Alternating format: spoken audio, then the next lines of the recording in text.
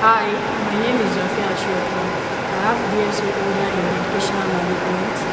I worked two years as a sales rep.